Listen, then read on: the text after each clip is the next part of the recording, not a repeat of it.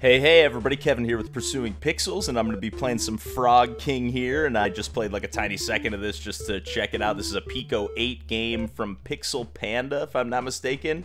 It is a super cute, adorable frog, and pretty, like, I pretty much just got past this obstacle here.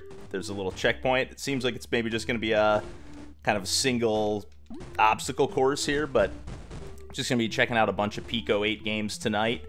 Um, and this happened to be the first one that caught my eye. Although, wait, it might be a little bit of a little mini exploration uh, thing going on too. Although, as of right now, I don't have any abilities, just the ability to jump.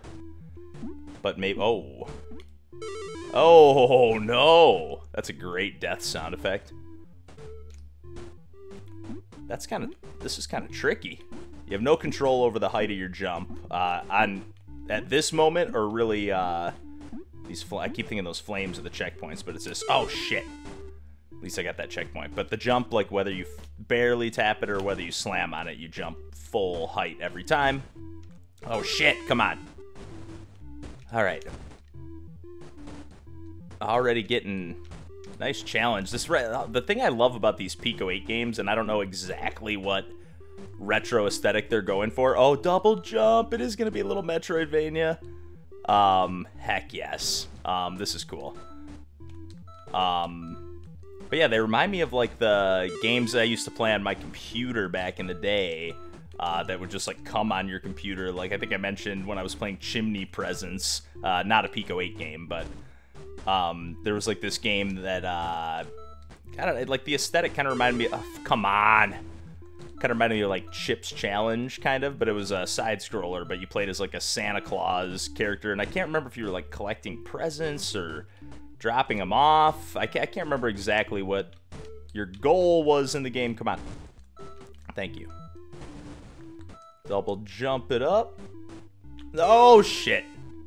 Okay, yeah, it's checkpoint. Gotta wait. Wait it out, wait it out. There we go. Nope.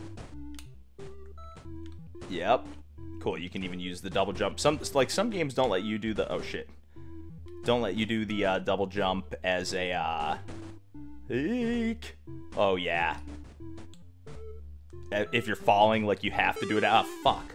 You have to do it after you've already jumped. Oh, they're making these obstacles...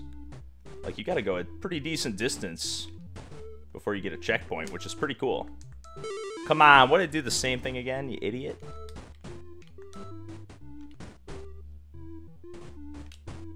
Keep whiffing that jump because the up button also doubles as a jump button.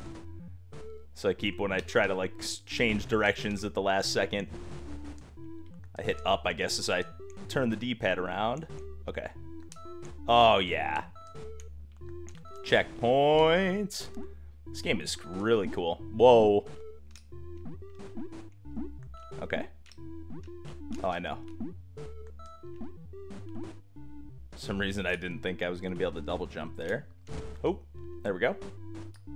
Oh, come on! Should have known that was coming. There we go. There we go. There we go. Oh no! That thing just slammed down on me.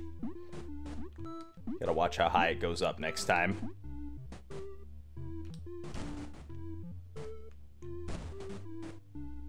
Okay. So it's just gonna slam no matter what. Yeah, there you go.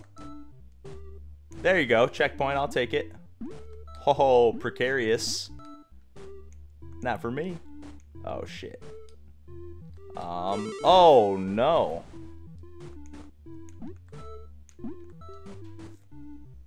I see, though.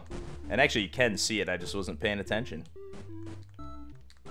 Yeah, really solid level design so far, and love the flames, the torches on the wall. Is that it? Yes! Ha ha! Woohoo! Nice little, I bet you that one's fun to do like a little quick speed run of, but uh, yeah. I'm gonna wrap it up there for this game, but uh, thanks for tuning in and take care, and we'll catch you next time if you're watching on YouTube. Check out the uh, playlists for more videos, and if you're watching on Twitch, I'm gonna keep playing some more. But uh, either way, thanks for watching and take care.